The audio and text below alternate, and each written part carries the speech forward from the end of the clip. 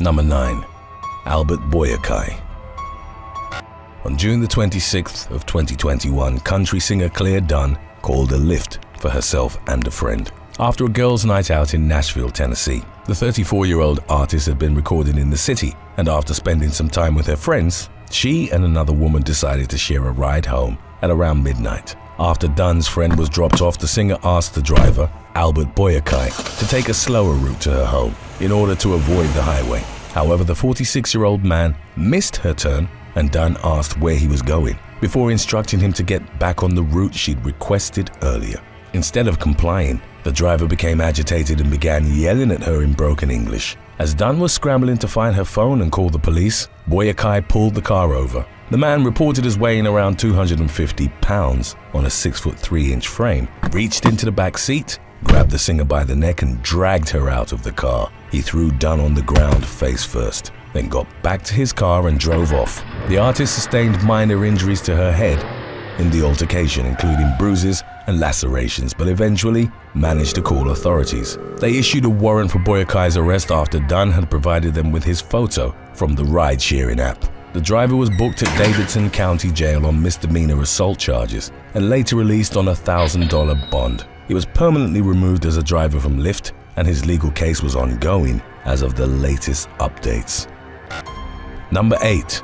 Dondre Lorenz Powell On May the 10th of 2021, Lyft driver Paul Liao was washing his BMW at a gas station in El Monte, east of downtown Los Angeles, California. After the 67-year-old driver had finished and while he was waiting for his next fare, Dondre Lorenz Powell entered his vehicle with a mask on his face. The 26-year-old pointed a handgun at Liao, demanding cash before reaching to the front of the car to take his cell phone from the dashboard. He even reportedly asked the Taiwanese man about his ethnic background, which would later raise suspicions that his actions had been racially motivated. On the camera the driver had installed inside his vehicle, the attacker was seen pointing the gun at his head several times and even hitting him with it twice before exiting the car. Liao's glasses were knocked off and he was left bleeding from his nose following the strikes. Powell, whose mask had slipped from his face during the robbery, made off with roughly $1,500.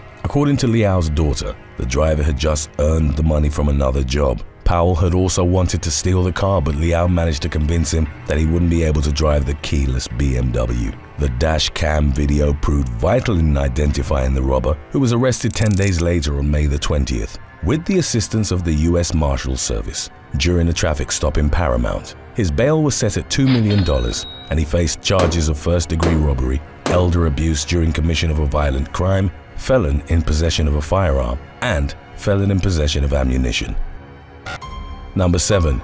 Deshaundra Lee Ward Lyft driver Deshaundra Lee Ward was driving passengers around Memphis, Tennessee on June the 1st of 2022 without realizing she was being followed. When the 43-year-old stopped at a red light, the occupants from a car that had been trailing hers since she'd left the pickup spot approached the vehicle and opened fire. While Ward's passengers managed to get out and run away from the scene, the driver was fatally wounded. The woman, a mother of six, had started working for the ride-sharing service only a week earlier. Following her death, Ward's brother expressed the belief that the passengers, none of whom were named, had been the attacker's intended targets. Memphis police launched an investigation into the matter while Lyft released a statement saying they were working with law enforcement to combat violence and keep their drivers safe. No arrests were made in the immediate aftermath, but in mid-June, the police released photos of a vehicle suspected to have been involved in the deadly ambush. Number 6. Andy Van Pham 30-year-old Lyft driver Andy Van Pham picked up a passenger in his 70s early on the morning of April the 4th of 2021. During the ride through Tustin, California, the driver allegedly fell asleep behind the wheel. He was consequently no longer in control of the car and crashed into a light pole in the area of Jamboree Road and Patriot Way. His elderly passenger, whose identity wasn't disclosed, suffered traumatic injuries and didn't survive the accident. Pham was arrested without incident a few weeks later after the police determined he'd been driving with negligence, resulting in the death of his passenger. He was taken into custody on charges of manslaughter, possession of drug paraphernalia, providing false information to a police officer and making an unsafe turn or lane change. Number 5. Eduardo Medido On May the 21st of 2019, Eduardo Medido was driving two passengers to Mount Sinai Hospital in Astoria, Queens, New York City. The male passenger, George Catalano, was moaning in pain for several minutes while being held by an older female passenger, later identified as his mother. During the ride, 36-year-old Catalano removed his shirt and used profanities while demanding that Medido drive faster. The Lyft driver warned him not to be disrespectful, claiming that he'd otherwise have to stop and ask them to exit the car. Catalano reacted by punching him in the back of the head repeatedly as the car was still moving. The dashcam recorded attack occurred during rush hour traffic and Medido struggled to maintain control of his vehicle while he was being struck. The passenger then lunged forward trying to get into the front seat and grabbed Medido by his neck while yelling at him. The latter eventually managed to pull over and Catalano got out of the car only to then walk to the driver's side door and try to punch Medido through his open window. After the video was released, Catalano surrendered to the police and admitted to the attack. He was charged with reckless endangerment and assault. According to police records, he had eight prior arrests, the oldest of which dated back to 2003. Lyft also took measures following the incident permanently banning the passenger from the ride-sharing app. Number 4.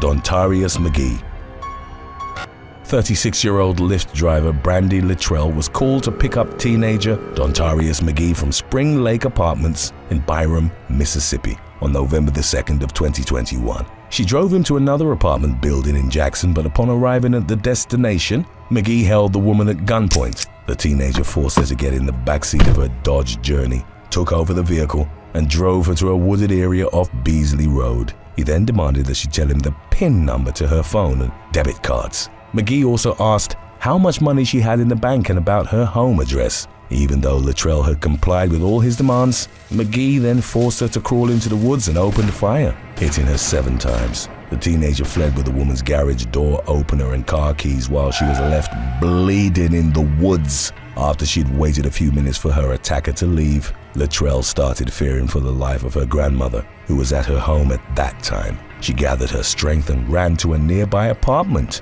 where she asked for help. Littrell was subsequently rushed to a nearby hospital with life-threatening injuries. As she later told a media outlet, she survived by the grace of God and started recovering from her multiple gunshot wounds. In the aftermath, McGee was located and arrested by Jackson law enforcement on charges of carjacking, kidnapping, and aggravated assault.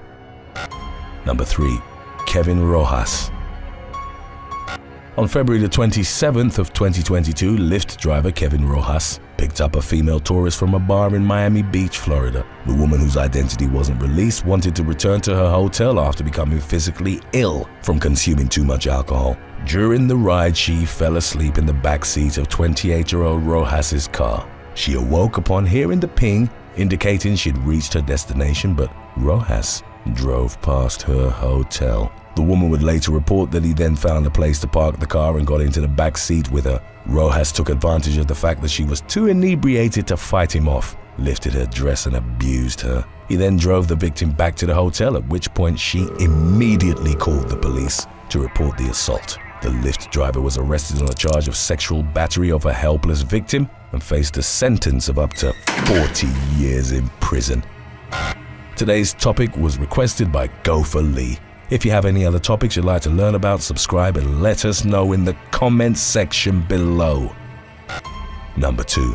Riona Oliver 27-year-old rapper Riona Oliver, who performed as Game Over Ready, booked a Lyft ride that would ultimately result in her arrest on April the 23rd of 2019. When the driver reached her home in Chalmette, Louisiana, the woman left her five-year-old son alone in the vehicle with the destination set for his school in New Orleans. The driver told her that he couldn't accept a child who wasn't accompanied by an adult as a fear, but Oliver refused to take her son out of the car. She reportedly turned around, walked back inside her home, and didn't return. Instead of taking the child to school, however, the driver decided to bring him to a sheriff's office substation in Arabi and report the mother for leaving him alone in his car. Oliver tried to defend her actions by claiming she hadn't been feeling well upon calling the Lyft, adding that she hadn't known about the ride sharing services policy regarding children. The rapper, who was also wanted on two outstanding traffic warrants, was arrested on child desertion charges and booked into the St. Bernard Parish Jail. Number 1. Alessandra Starr Ward on November the 19th of 2020, British model and actress Alessandra Starr Ward was on a Lyft ride in Los Angeles, California. She started listening to a song on her phone when the driver asked her to turn off the music. Ward refused and started arguing with the unidentified man, who then threatened to physically remove her from the car. The actress claimed she'd call the police if he were to do so, but the driver then parked the car and pulled her out of the vehicle, along with her belongings. Ward tried to fight back, but the driver then violently threw her onto the ground. Other motorists stopped their cars and intervened to stop the altercation. The Lyft driver didn't relent from his attack on the much smaller victim until another man put him in a chokehold. The incident was caught on surveillance cameras as the ride-sharing service car was parked along Melrose Avenue. Ward was taken to the hospital with a concussion, a black eye, a sprained ankle, and bruises. In the harrowing attack's aftermath, the driver was cited for misdemeanor battery. Thanks for watching. Would you share a lift with an active bank robber or be a passenger in a car that you know will experience total brake failure during the drive? Let us know in the comment section below.